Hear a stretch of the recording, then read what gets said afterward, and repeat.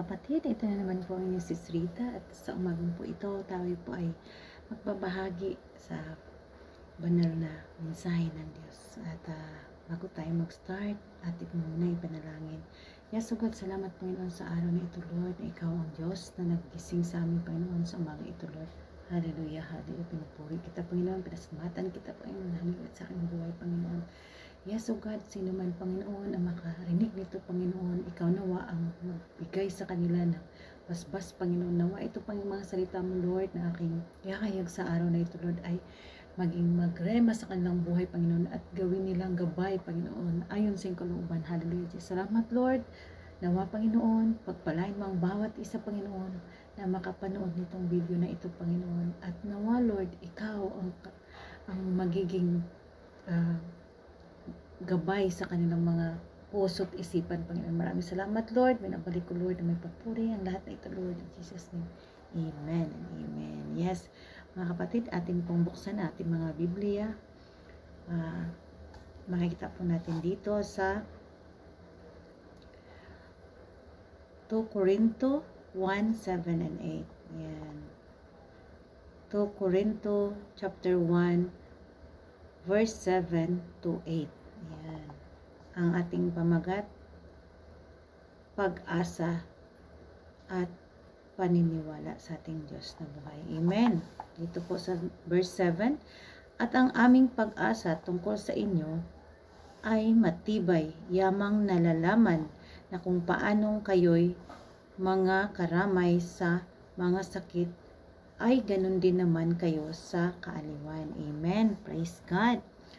At dito sa 8, hindi namin ibig na kayo di makaalam, mga kapatid, ng tungkol sa mga kapighatian namin na nangyari sa Asia, na kami ay totoong nabigatan ng higit sa aming kaya. Ano pat kami ay nawala na ng pag-asa sa buhay. Amen. Praise God. So, sinasabi dito mga kapatid, eh, na sinulat dito na pinatutuo ng Diyos na talagang nahirapan ang mga manggagawa mula pa noon. Mula pa noon, hindi lang sa ngayon, mula pa noon.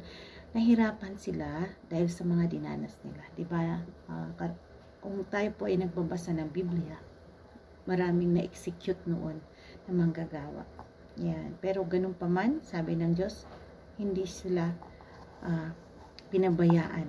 Yan. Atin pong bibigyan ng short exhortation ang mga salita na binigay sa atin ng Diyos. So, dito sa 7, mga kapatid, dito sinasabi ng Diyos na hindi niya tayo pababayaan. Praise God.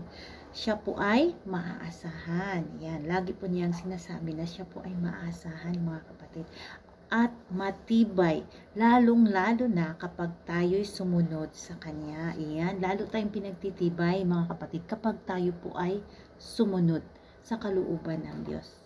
So sabi din ng Diyos, dito lagi natin siyang kasama. Kasama natin siya sa ating pag-aayag ng salita niya. Kasi siya po yung nag-utos sa atin. So, lagi niyang ina-assure sa bawat uh, nagbabahagi ng kanyang salita sa mga sa mga taong uh, may hangarin na ang salita ng Diyos ay ipangaral, nandoon siya lagi kasama natin siya. Sa hirap at ginawa kapag tayo'y magtiwala sa Kanya. Yan, binibigyan tayo ng assurance na kapag tayo nagtiwala sa ating Panginoong Diyos, hindi niya tayo pababayaan kahit manghina ka man. Diba? Sila, Pablo noon, nang hina sila, diba? Si Juan, ganun din. Silang lahat ng mga apostoles. Hindi po sila basta naghayag lang. Kumbaga, dumarating sa puntong nawalan sila ng lakas dahil nga sa mga pag-uusig. Praise God. At dito po sa 8, sabi ng Diyos, nais niya tayong bigyan ng karunungan. Dahil sinabi po niya dito sa 8, hindi namin ibig na kayo di makaalam. Diba? So, nais ng Diyos na tayo po'y bigyan niya ng karunungan. Kung pang, pa, maging alert po tayo sa mga gagawin natin kapag tayo sumunod sa Kanya. So, sabi dito, karunungan kapatid, dahil nang ang mga pagsubok natin sa buhay ay talagang mabibigat. Binibigyan na tayo ng babala ng Diyos. Kapag tayo sumunod sa Kanya, hindi natin isipin na tayo po ay happy-happy na lamang. Kum, kumbaga, ihanda na natin ang ating sarili na talaga tayong may dadanasin na kabigatan. Kaya ganun, sa buhay na talagang mabibigat, di ba sabi niya, mabibig, dahil sinabi niya dito sa 8, hindi namin ibig na kayo di makaalam, mga kapatid, na tungkol sa mga kapighatian namin na nangyari sa Asia. Ito po yung uh, sila Pablo noon, sila Juan noon, sila uh, basta ang daming apostoles na nakasulat sa Biblia. So, noon pa man ay dumaranas na sila ng kapighatian, lahat-lahat ng nadanasan. So, dito sa atin ngayon, sa new generation natin, uh, ang, ang pagsubok natin sa buhay ay ganito lamang. So, hindi masyadong, uh, di ba, dati talaga talagang pinapatay yung mga manggagawa. So, binibigyan na tayo ng babala ng Diyos. Maging alerto tayo, maging handa tayo. Yan. Binigyan tayo ng kaalaman para hindi tayo maging, uh, di ba, hindi tayo maging magugulat na ganito pala, 'di ba? Pag sumunod tayo sa Diyos, talagang may kahirapan. So, sabi ng Diyos, na sabi ng Diyos, nais niya tayong bigyan ng karunungan kapatid na ang mga pagsubok natin sa buhay ay talagang mabibigat.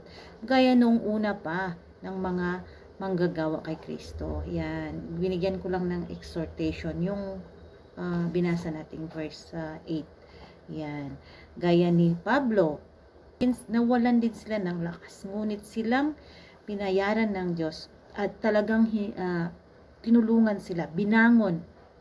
I mean, binangon sila ng Diyos upang sila magpatuloy. So, pinapatutuo dito na kahit gaano kahirap ang maranasan, ito'y malagpasan natin, mga kapatid, sa tulong ng Diyos. Yeah, sa tulong ng banal na espiritu na pinagkaloob niya sa atin. Amen.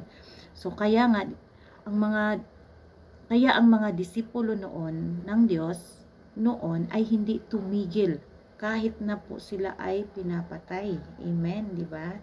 Kahit na, di ba, pinapatay na sila, yung salinlay, yung sumunod sa kanila, ganun pa rin, nagpapatuloy pa rin. Hindi sila nauubos dahil may pangako ang Diyos na sila po ay bubuhayin dito sa lupa, patay sila, ngunit sa langit ay bubuhayan sila ng Diyos. Dahil alam nila na sila'y muling mabubuhay pagdating sa langit. Praise God. Kaya mga kapatid, huwag tayong tumigil. Hindi po tayo dapat tumigil. Kahit mamatay dito tayo dito sa lupa.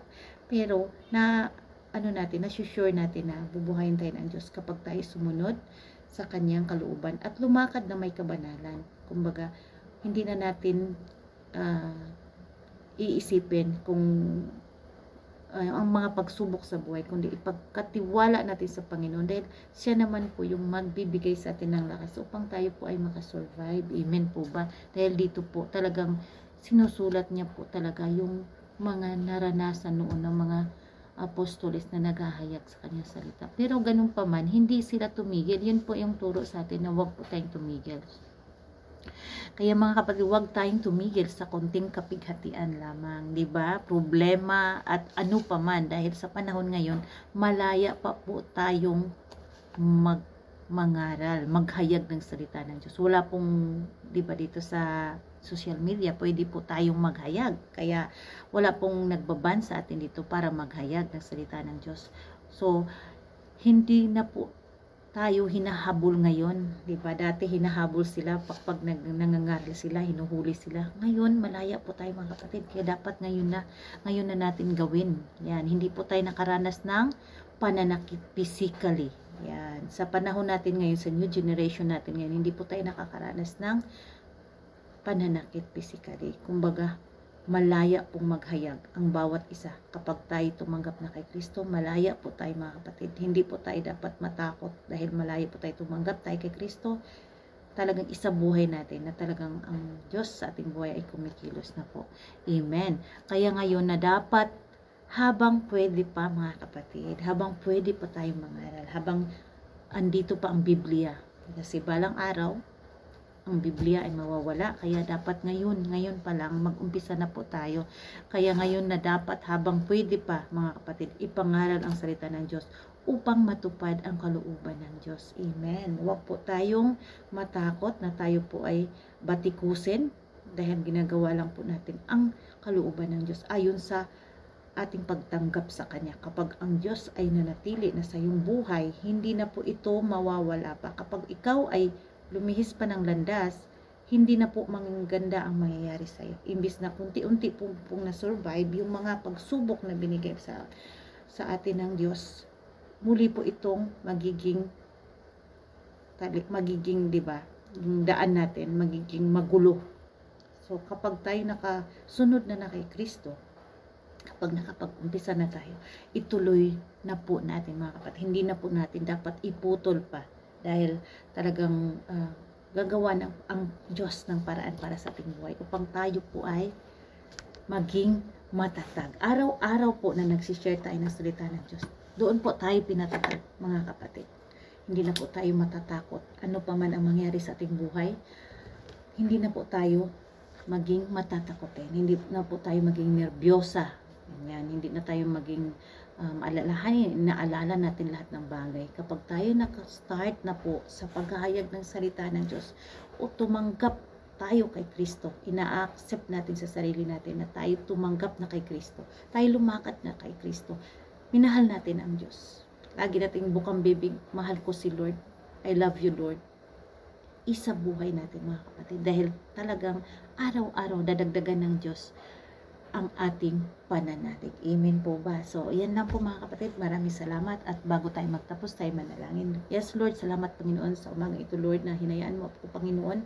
Binigyan mo ako ng chance, Panginoon. Hallelujah, nakapagsalita dito, Panginoon, sa social media, Lord. Salamat sa free Panginoon, sa free naming mga mga uh, rights, Panginoon, na kami po ay pwede kami maghayag dito, Panginoon. Hallelujah, Jesus, na wala pong nagbaban sa amin, Panginoon. Hallelujah, Jesus. Hindi kagaya noon, Lord, Hallelujah, Jesus. Maraming salamat, Panginoon. Nawa, Panginoon, na lahat na makapanood, makarinig ng iyong salita, Lord, ay ma-revive sila, Panginoon.